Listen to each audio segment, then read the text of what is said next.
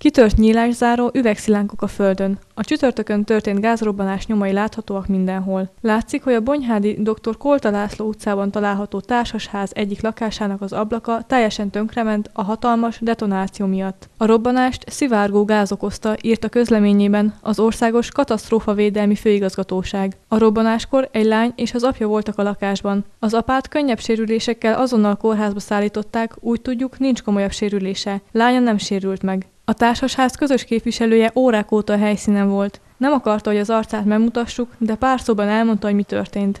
Gázrobbanás volt a dr. Kolta 33 per a társasházban, az egyik lakásban.